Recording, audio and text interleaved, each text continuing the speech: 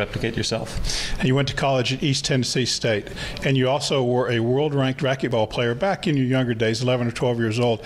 Did you take any lunch money off your buddies? Uh, yeah, I played. I played a few guys in college for some money. It was a lot of fun. It was just, you know, uh, I guess people wouldn't wouldn't always believe that you actually had played in the past and stuff. So it was, it was uh, I'd give some uh, guys some nice head starts and play them for some money and just yeah, extra money. Is there any any uh, carryover maybe from playing racquetball to golf that you can learn from playing one that you take into golf? Um, I'm, I'm not sure. I mean, you, you have the hand-eye coordination side of it, and you have like generally a lot of speed, like th- like through the hitting area. But besides that, I, I, would it's kind of a lot of different different movements, different muscles. But definitely just being you know the athletic the athletic motion and just the hand-eye coordination be the biggest things. Well, 67 years, so very nice playing. Hope we get back out again today. Continue your fine play. Whit, back to you. All right, Phil. Thanks very much. Yeah, we hope so too. Today's coverage is brought to you by Rust-Oleum. You say it, we build it. It's as easy as web.com. Well, unfortunately, the weather took up most of the day here at the Rust-Oleum Championship, day number two.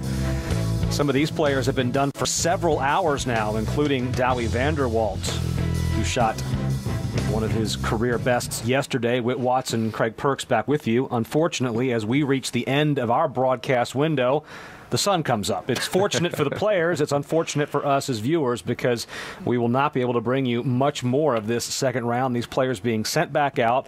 They'll go till it's dark here in Northeast Ohio, and then an early start for them tomorrow. Yeah, how good is the guys that uh, Dawie van and, and Dustin Bray and Shane Bertsch that have already finished their rounds mm-hmm. of golf and they can sort of just wait out. But the other players will come back very early in the morning, complete their second rounds, and then they will repair, split tees on Saturday, and uh, hopefully that we get good enough weather that we can get sort of back on schedule and, and, get this great golf course to be shown on this tour. Mentally, when you're in situations like this as a player, how do you keep yourself in the game?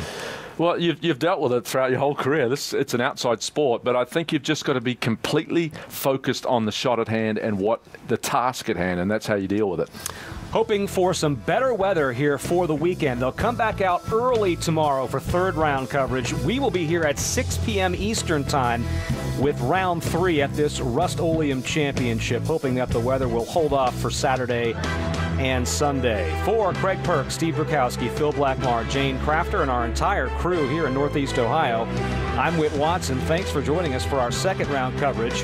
Hoping we can stay dry and get it going for the weekend. Round three tomorrow on Golf Channel.